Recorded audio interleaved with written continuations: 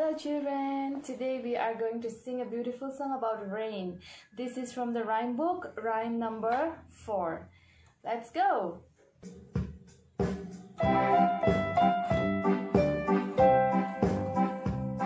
Oh, where do you come from, you little drops of rain?